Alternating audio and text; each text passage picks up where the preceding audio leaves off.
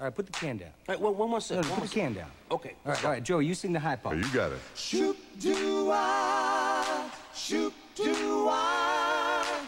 Gonna meet the family, talking about my brothers and me.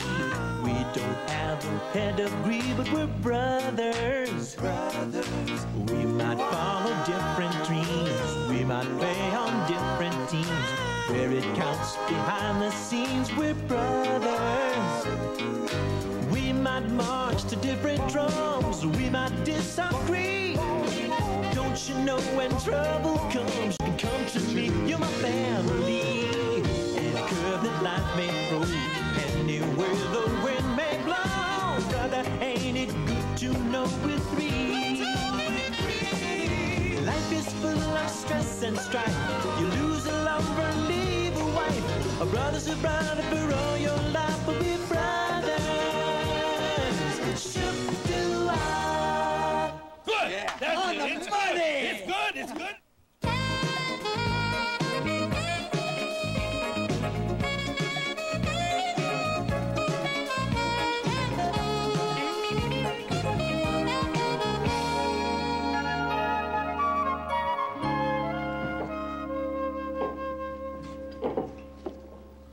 Hey, Penny. Hi. Dad, I may not have mentioned this earlier, but when you and Mom split up, it hurt me very deeply.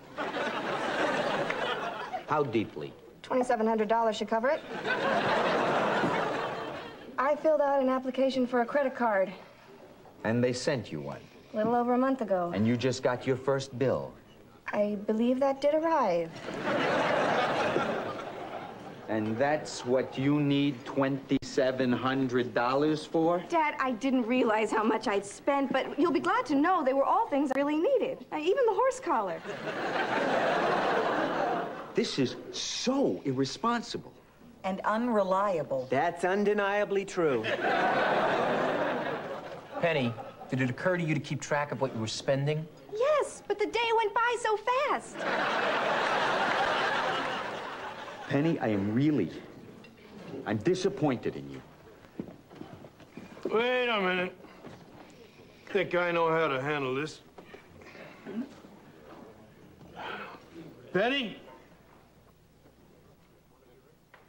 Guess not.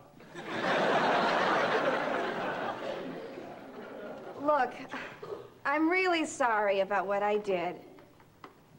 I've given it a lot of thought, and I know what I have to do. Oh, Daddy, please! I'll never do it again! I, I always liked you better than Mom. That won't help, Penny. There is no way I'm letting you talk your way out of this one. Daddy, you have to give me the money. How else am I gonna get it? Like everyone else, get a job.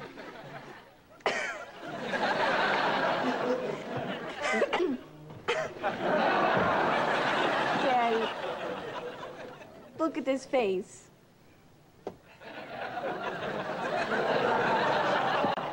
Daddy, I'm not the kind of kid that should have to get a job. This is no time to be snooty. Joe, maybe she's right. Maybe she's not ready to be thrown into the rat race. I agree with Donald. Then I'd like to withdraw that remark and possibly throw up. I don't need advice from you guys. I am the father here. I'm a father, too. I was close to my father. I remember my father. I've dated a father. That's it. I've made up my mind.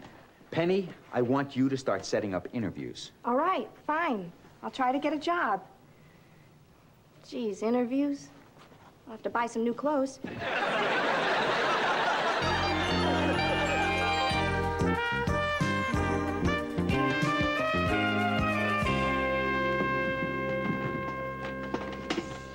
Hey, Lou. Gonna have lunch here? No. I just came over to drive Joe's car around the block.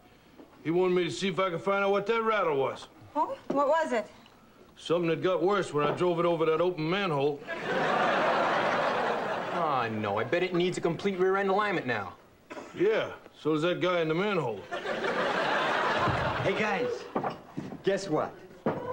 I called an old friend of mine and I got Penny a secretarial job. Hey, that's terrific. That's great. Does Penny know shorthand? No. Can she type? No. Does she know how to spin around in an office chair and say we? She won't really have to do secretarial work. I explained the situation, and he said she could just help out with the copying and stuff. Well, that's nice of the guy. You know, a lot of friends wouldn't do that. Well, this guy sort of owes me a favor. He scratched my car once. Giving Penny a job is his way of kind of thanking me for not strangling him. Uh, Joe, I was wondering, uh, how good is Penny with a forklift? What? You know, I, I found out what that rattle was. It won't be bothering you no more. Why not? I wrecked your car. Cliffy, could you wait outside for the tow truck? I gotta go to work. Yeah, sure, Lou. Tow truck? Uh, Just a little tow truck. Hey, Dad, where's the other half of your car? I don't believe this. If it's not one thing, it's another. I just got the car. Daddy, Dad, Dad, Dad, calm down. I don't like to see you upset like this. I'm sorry. Can I borrow twenty dollars? No, you can't. Wait. Sure. Here. This man is not my father. My father whimpers when he does this. This time I know you'll be able to pay me back. Penny, I got you a job. You got me a job? That's right. Tom Bentley, an old friend of mine's doing me a favor. This is how you treat me like an adult? You go find me a job without even asking me? Well, I didn't think you could get one on your own. And I am still your father. I don't have to consult you on every life decision I make for you. Well, I hate to disappoint you, but I've already found a job. You have? Penny, that's great. What are you going to be doing? Oh, this and that. It's a big office. Ah, honey, I'm sorry I didn't have more faith in you. I'm going to call Tom right now and tell him my daughter's got a job. Hey, you got a job. Congratulations. Oh, shut up. Sorry, I didn't think. I should apologize, Kelly. I'm just upset with myself. I lied. I don't have a job. Oh, decided the old workaday world still isn't for you, huh? It's the other way around. I actually tried to get a job. I went on interviews. I filled out applications. It's happened. I'm, I'm at that age where people stop thinking of me as cute and start thinking of me as useless. Oh, well, keep trying, kid. You know, my father always used to say, as long as there are things to be done, people will be trying to find people to do them as long as there are things to be done. Dad drank.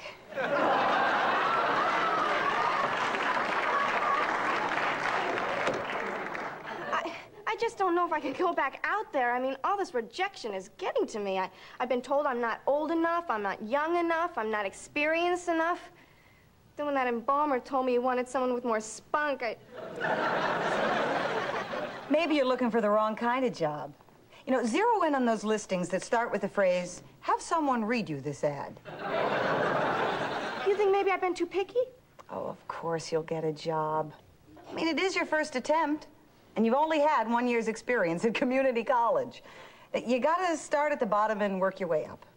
You're right. I'm gonna do just like you did. I'm gonna start at the bottom and rise to the top. No, actually, I started at the bottom and just kind of spread out.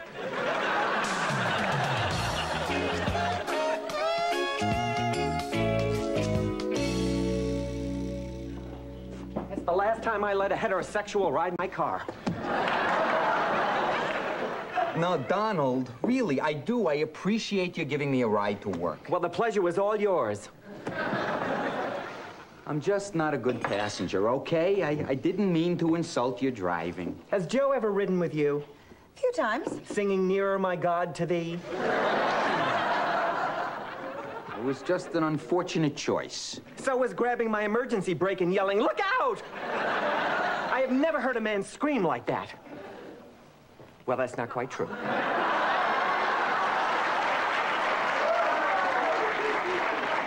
Hi, everyone. Hi, Penny. I can't stay long. I just dropped by to repay you the $20 that I borrowed last week from you, Dad. My daughter. My daughter.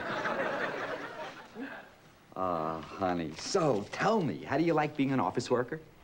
Oh, uh, that, Dad, I lied to you the other day about getting a job in an office, but Kelly talked me into giving it another try, and I finally found a job. She's had the job almost a week now. That's half your pro career, Joe. Guys, leave him alone. He's waited 20 years for this, and I want him to enjoy it. Uh, thanks, honey. I'm really, I'm so proud of you. So tell me, where are you working? I knew you'd start crying. All he asked you was where you're working. I'm sorry, I, I gotta go. I'm gonna be late for work. Now, Daddy, don't worry about me. I'm fine. Okay. Bye. So long, Bye, honey. Bye-bye. Take care. Where the hell is she going? I don't know. She wouldn't tell me. She wouldn't even tell you? That's it. If she won't tell, I'm gonna have to follow her. You can't, Joe. I could give you a million reasons why it's wrong, why it diminishes everything that you've built up between you and Penny, but the most important one, and the one you're going to have to live with for a long time, is you don't have a car.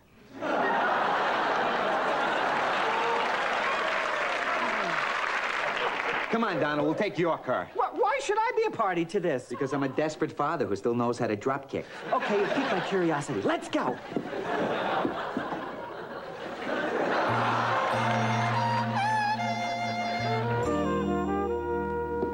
Donald, I only grabbed the wheel because I thought you were gonna kill a bird. But it wasn't a bird, was it, Joe? It was my hood ornament. You tore up my emergency brake to save the life of Chief Pontiac. You are taking the bus home. Fine. Now, are you sure this is the building Penny went in? I think so. This is some kind of a dance hall. Let's go.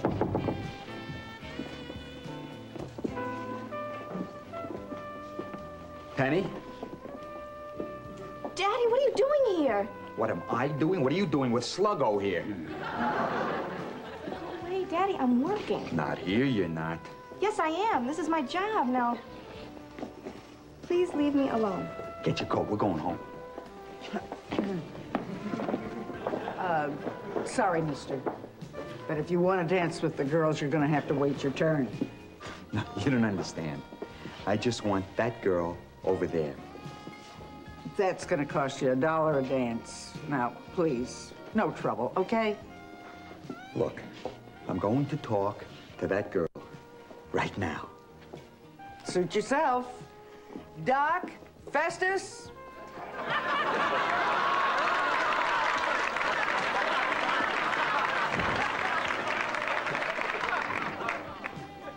Oh, if you insist.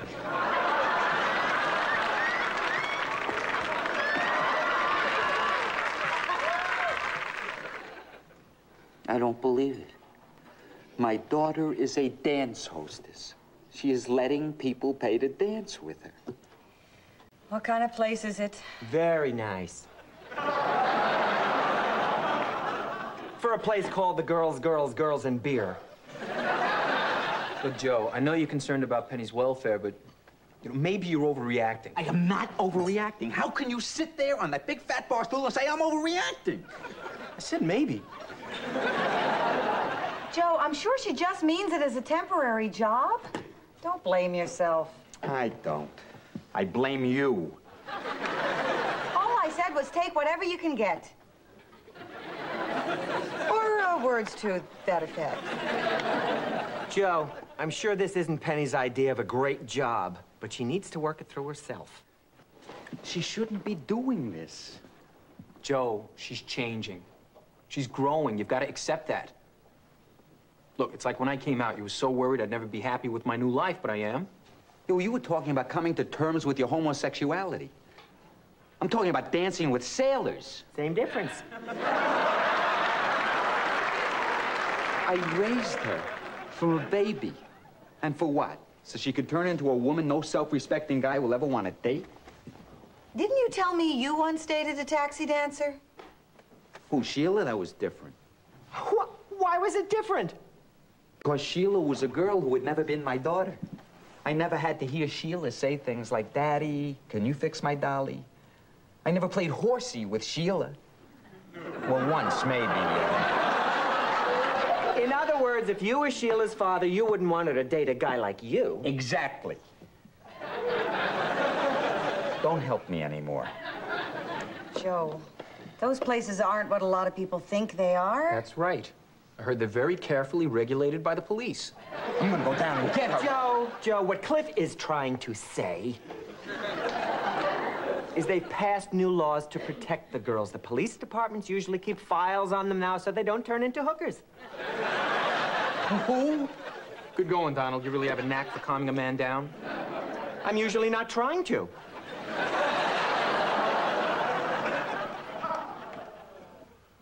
What's going on? My daughter is a dance hostess. Hey, girls, girls, girls, and beer? You know the place? Sure, I go there all the time.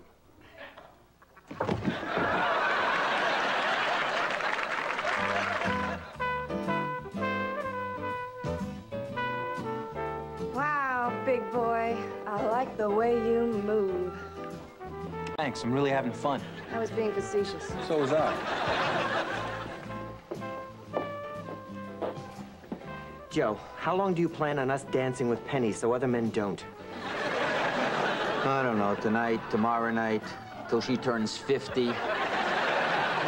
Couldn't we just do away with her? Donald, I am not leaving here till she agrees to talk to me. Well, it might help if you didn't start the conversation with, hello, slut.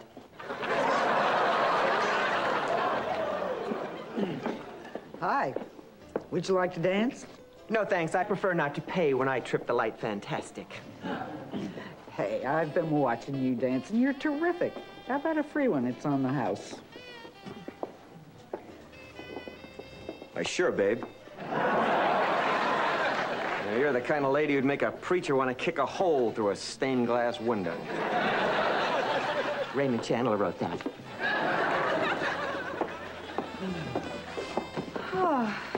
So how'd it go? She willing to talk? I don't think so. Every time I mention your name, she makes this gurgling sound. Well, you still got two tickets left, Joe. You might as well go give it another try. No. I am tired of being humiliated by my own daughter. Then you should probably leave, because something wicked her way comes.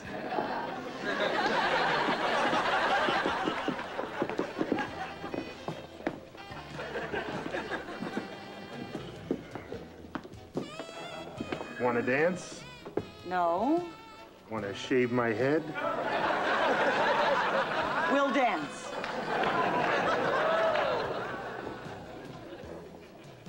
Don't start with me, Dad. Fine.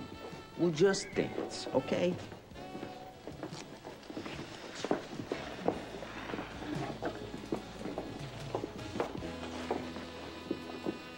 Boy, I remember when dancing with you used to be fun. Remember when you were little? You'd dance around the room with your feet on top of mine.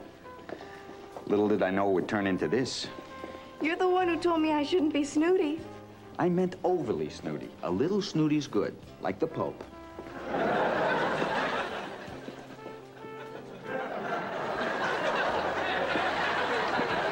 Lou. Lou. Carlotta won't let me dance with the girls. She said I could do this for half price.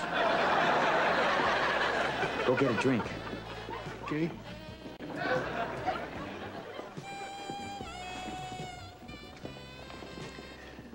Penny, the thing is, no self-respecting person would take a job in a place like this.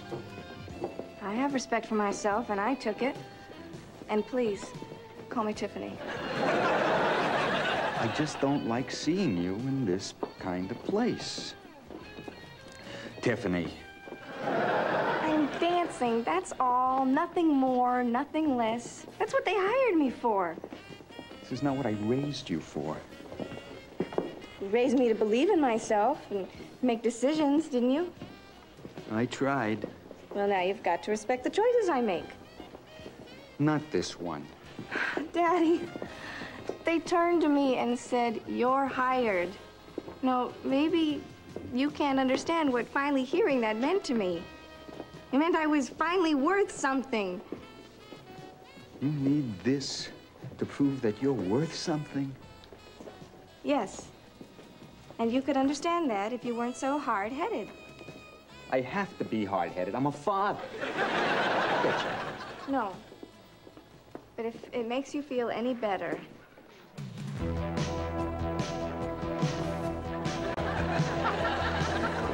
feel any better, I realize that I've been marking time in junior college and that I gotta get a plan going. What do you mean? I mean, I wanna go to a real college. I wanna do something with my life. Henry, this is great. So quit this job. No. Not until I've paid for the dresses I bought and the shoes and the harp. Look, Penny, I do. I have faith in you. I just wish I could accept this, but Then just do it. I have nothing more to say. If you want to ruin your life, it's up to you. Dad.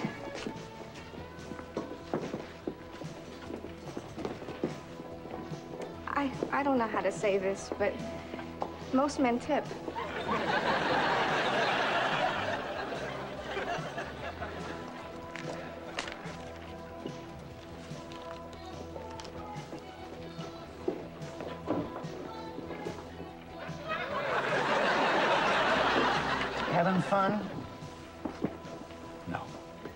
Because you keep dancing with that strange one. Hey, she's not strange. She's just out of place in this environment. That's the truth.